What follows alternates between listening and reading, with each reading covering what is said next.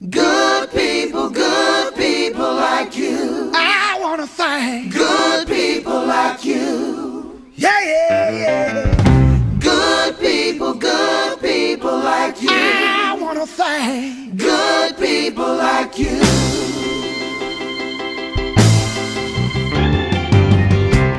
you. Give help.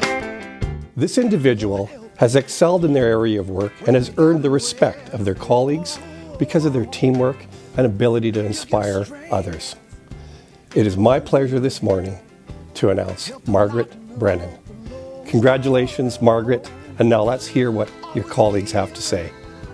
Marg is someone who we are very fortunate to have on our staff. She is somebody who is very caring and compassionate.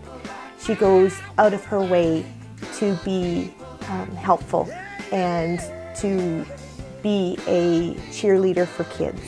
Marg will spend lots and lots of time with students because she genuinely cares for her students. And it's seen with all her students, not only the ones that she's particularly assigned to, but with all students here in the school.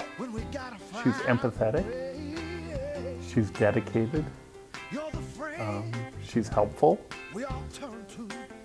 And she's wise. She's very wise. And she's willing to share that. So Marg has a great rapport with students and staff. Uh, she's just a dedicated staff member, um, loyal, uh, j- a great friend, just an all- all-round great person. So, Margaret, we're delighted to honor you today. Congratulations. You've inspired us all. Congratulations, Marg. I can honestly say that we truly love you and congratulations. You are an absolute gem, and I not only am glad to call you one of our TES staff members, but it is my honor to call you a friend, and I absolutely love you.